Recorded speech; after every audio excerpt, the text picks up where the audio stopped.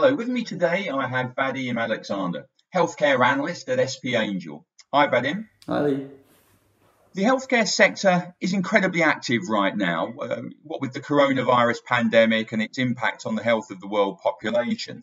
Now, the biggest trend since February has been COVID 19, and the star of that expanding niche has been a company called Novacyt. Now, few would have even heard of the company this time last year, but now it's grabbing all the headlines and it's the best performing stock of 2020.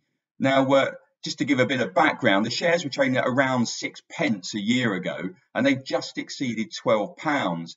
So that's an eye watering gain of 21,000% in just 12 months.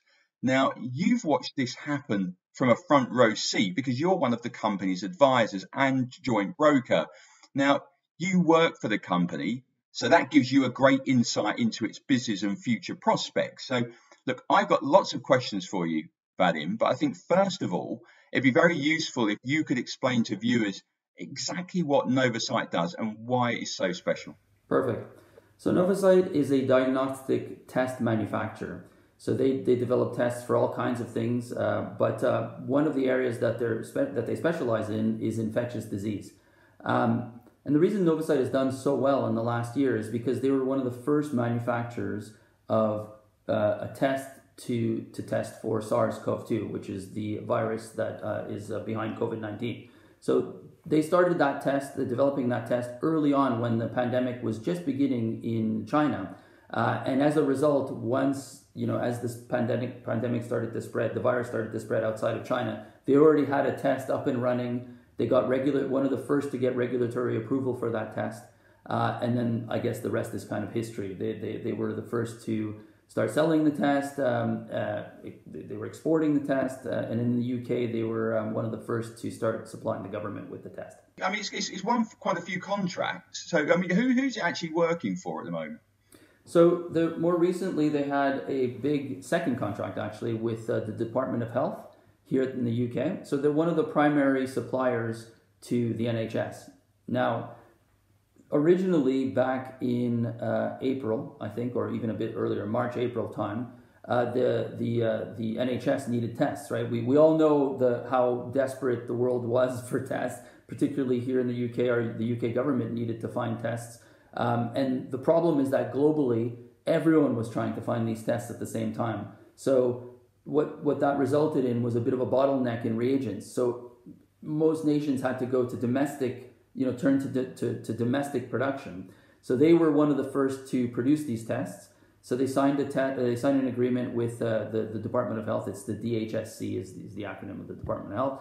Um, first to get tests into centralized labs. So the first tests that were rolled out were you know, you get a test, a swab done, and then you get it sent to the to a central lab, and it gets processed, and you get an answer within 24 hours or, or a bit longer initially. Um, so that was the first contract they got with the Department of Health, and then more recently they had uh, another contract, another bigger contract, which runs at the same time. Uh, it runs, you know, you, you, the centralized lab testing continues, but this one is to get um, a more uh, a localized test done. This is this is at the point what's known as at the point of need. So what you have here is uh, testing being done in hospitals, and that was a pretty big contract. It was a 250 million pound contract. So, so I'm, I'm, just trying to, I, and I, I, think a lot of viewers will think, well, look, from six pence to over 12 pounds per share is quite phenomenal. And, you know, they, they've won some big contracts and what have you. But, but why has the share price risen so far and so fast? And I guess, is it justified? Well, I think it is, um, and well, it's it's a question of scale. So the, the as you might imagine. So let me give you a bit of um, a few parameters on revenues that I think support that kind of share price rise. So last year, in the year ending 2019, the company did about just over 10 million in revenue. I think 10 or 12 million pounds in revenue. Um, this year, at the interim mark, they did uh, about 72 million, sorry, euros, all, all, in euros, 72 million euros in revenue. Uh, and the, the, most recent contract with the DHSC, with the, the, Department of Health, which they struck just last month, uh, and, and a lot of it is to be deployed still in 2020, uh, is for 250 million pounds. So, you know, it gives you a bit of a flavor for what size of revenues we're talking about. I mean, this has been a step change. It's, it's a revenue surge, uh, an unprecedented revenue surge uh, for the business. I mean, they're, they're looking at um, uh, some of you know the forecasts out there are of revenues up to 300 million, nearing 300 million euros for this year. So you know, 70, 75, call it ballpark, 72 million euros at the interim mark, up on 10 million last year for the full year, or whatever, 10 to 12 million last year. So you're looking at a whatever that is, a 30 time surge in revenues this year. You know, you know what I mean? It's it's a substantial surge in revenues. Uh, and then these tests are have carry high margins. Uh, at the interims, I think the margins were about 80, 85%, so um, whatever that was, 82, 83% margin, gross margin. So, you know, a lot of this revenue drops straight to the bottom line. And so the company is, you know, the, the, the, uh, the company is seeing this incredible surge in revenues and profits. And that's, that's what's justifying this, this leap forward. I might say they're not alone, uh, as in other companies listed on the London Stock Exchange have seen a huge surge as well in their stock prices. Um, and uh, you know, not quite as justified in that they haven't seen the revenues coming through yet because they're still either developing the test or getting it approved or are in the early days of manufacturing it, their tests, their respective tests. So I think Novacyt is kind of well placed because they were a first mover, because they're delivering these tests, and because they're already seeing the revenues come through on these tests. The company's now well, approaching 900 million, well over 800 million pounds. Yeah. Uh, Novacyt is worth at the moment. Mm-hmm. So I'm just wondering, is there another catalyst that might trigger further increases? And, and sort of, I mean, what could Novacyt eventually be worth? So yeah, so basically the, the, the, the, more recent catalyst, the first catalyst was seeing the revenues come through from the first uh, Department of Health contract, which is for centralized testing. That continues. That's continuing at pace. The second catalyst that drove the shares, I'd say, up to above one pound, um, uh, sorry, 10 pounds, is uh, was the second contract from the DHSC.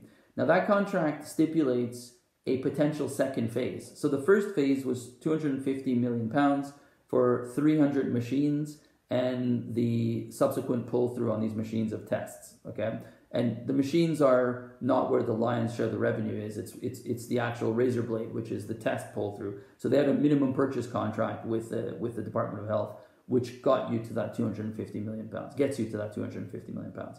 But the contract also stipulates a second phase, which is another 700 machines. Now these machines are going to be rolled out uh, primarily to uh, NHS hospitals. There's about 1,300 hospitals in the UK. So, you know, if with the 300 first work and it all goes to plan, you would imagine the triggering of the second, the second contract, the second phase of the contract. If that gets triggered, then I can see these shares rallying substantially further because it'll be just by definition a larger contract than the 300 machines. Because, you know, whatever, you can prorate that, maybe, maybe not 100% prorated, but you can prorate it at least as a doubling of the primary, of the first contract because it's more than twice as many machines and you mentioned machines, and I guess this goes back to just clearing up what Novacyt does. Yeah. It sort of does it does it make the machines? Does it just produce the tests? Does it do both? Yeah. So let me get a little more granular on specifically what you know how they do these tests. So it's a it's a well known technique. It's a PCR. So what you do is your test goes onto a machine that amplifies the uh, the genomic sequence of the virus and that amplification allows you to then identify to, to, to then uh, it, it, uh, it, it's what identifies the virus. Because as you might imagine you have very low sample uh, very small amounts of virus viral uh, uh, genomic sequences in the actual original sample. So you need to amplify it via this technique which is PCR to get it to a level where you can identify it. So that's a well established technology in molecular diagnostics. It's what they're doing in the central lab uh, so in these centralized labs the same technique. Their test is all of the reagents that come, it's all, it, it's essentially the reagents that come in vials that you put on these machines. And then if you have, and then you take the viral sample, you put it in, in, in these vials. The machine then runs the test and then tells you whether, whether you have the virus or not. What they're doing more recently with the second contract, with the with the D, the second phase of this, D, or sorry, the second DHSC contract, which is the Department of Health contract, is that they're now they have these PCR machines, which they're putting into hospitals now. So instead of the hospitals having to send the tests to centralized labs to run these tests, they can do them in place in a hospital. the machine is being brought out of the central lab, if you like, to the hospital location. It's it's what's known as uh, at the point of need, testing at the point of need, and it it as you might imagine, it you know radically accelerates the turnaround time on the testing. So that's what that's what their machines are. They're they're effectively PCR machines uh, which run their own tests. Is there any other companies supplying the NHS, or is, is what what is what is the competition? Is Novacyt facing sort of competition from other suppliers? So yeah, there's a lot of people moving into this, as you mentioned, a lot of you know other manufacturers that make tests, and a lot of uh, new players and new technologies emerging in this space. But what I would say is, and this you know this brings I guess investors thinking to, to think about one thing. So how long will the pandemic last? How long will these tests be needed? Well, right now we're still underserved. Uh, you know, you, you, remember initially in this, so if you think about it from domestic terms in the UK, we initially had a crunch during the first wave where there weren't enough tests. We've all seen the headlines. It was a big problem for, for the government. It then caught up by getting you know manufacturers such as Novacyt being one of the primary manufacturers to get these tests rolled out, and then in come uh, September there was a second crunch again because uh, you know kids returning to schools, everybody started testing again, and you know uh, it wasn't that long ago if you remember uh, people had to drive you know five ten miles to get a test. So th- this is kind of part of that second phase of of getting more tests out again. So the, this is you know the, it wasn't very long after that that the Department of Health gave Novacyt this this second big contract. So as you can see, testing is still ramping up. We still are we still lack testing capability, uh, and Novacyt is filling that void. Okay, so then the question becomes, you know, when does that point when does that point come where there's and there's more suppliers coming into the picture that we know, which is which was your question, but but they're still not filling the, the gap of the need for testing. So demand is still increasing faster than supply is, what, is where I'm going with this. Now the question becomes when does you know the supply meet that demand and, and when does the demand start to come off? Now currently we're in the phase where supply is still not meeting demand and Novacyt is the primary player because they have a test that's approved that they're rolling out and they're rolling it out now at the point of need. Other suppliers are, are catching up, and we'll, we'll wait and see what happens. I would say that there's one thing to, to keep in mind is that new technologies that aren't proven really in you know mass product in terms of mass production and then large scale deployment, uh, I would be a little more suspicious of that because they may just not get to market on time. So that's that's my main my main point in terms of uh, competing competing technologies, competing suppliers. Now, I guess the big question for Novacyt and the companies like it uh, and for investors wondering whether to buy at the current share price or or current shareholders tempted to sell um, some or all of what they have. Yeah. Is what happens when the COVID vaccine um, begins to roll out. I mean, that, that could happen over the, the next few months. We just don't know. Now, does business dry up when a, a cure is found, or you know, what, what happens next? Yeah. So basically, the COVID vaccine.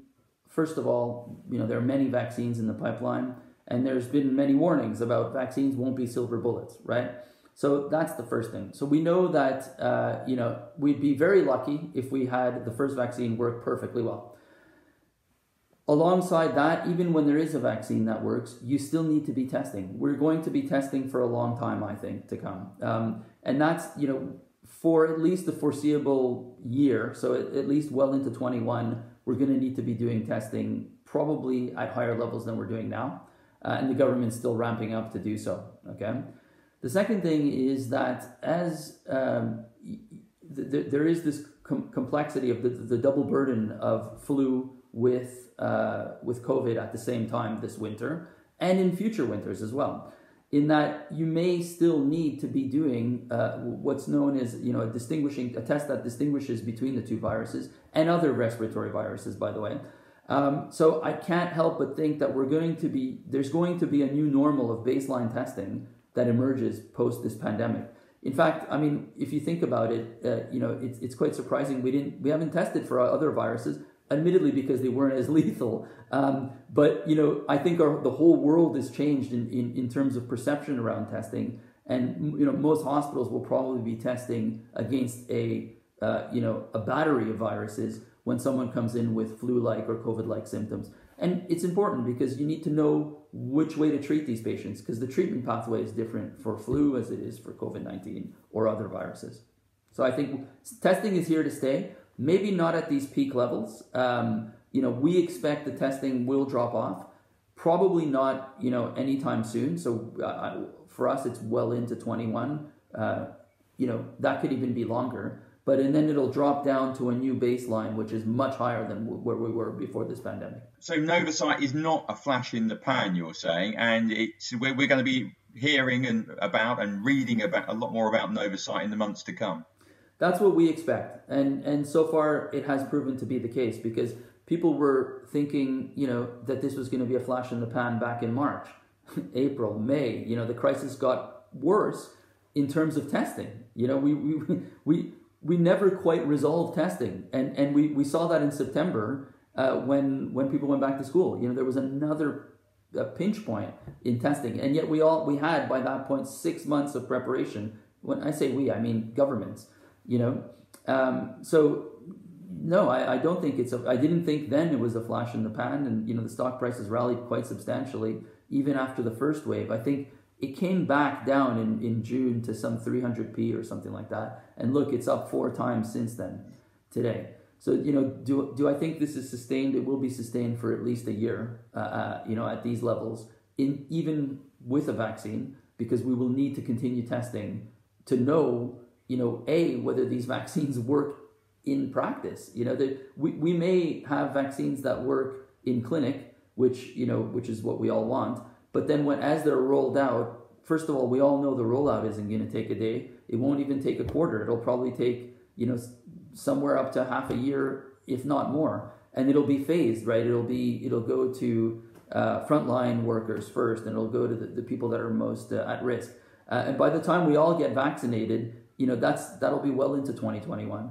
In the meantime, we need to be testing that whole time at ever increasing capacity you know so the, the testing demand as i was saying earlier is still going up and it's still ahead of supply and are there opportunities overseas for for Novacyt? Big contracts with the NHS, but what about what about overseas, America, those sorts of places? Absolutely. So yeah, definitely, and and they ha- they are selling overseas, and I expect to, to to see more of that. I think if there's an area of two areas that are triggers uh, for further you know further rallies in the shares are the triggering of that sec of that second phase of the second contract, the DHSC contract. That's the 700 machines I was telling you about. So that's one big trigger, and then the second one that can come out of more out of left field uh, because you know the, these contracts can land at any moment is a, a foreign contract. You know they're, they're making inroads into the U.S. into places like Brazil and elsewhere. Meanwhile, they are selling internationally. Uh, so yeah, so I, I, you're absolutely correct. The, over and above these huge contracts in the UK, they have potential for big contracts uh, internationally. Vadim, that's been a, a, fascinating insight into uh, you know, what's been driving Novacyt's uh, um, incredible run over the past uh, 12 months. Thank you very much for your time. Thank you.